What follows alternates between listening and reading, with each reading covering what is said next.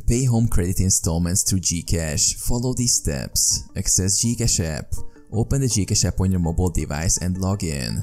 Select Pay Bills. Locate and select the Pay Bills option from the app's menu.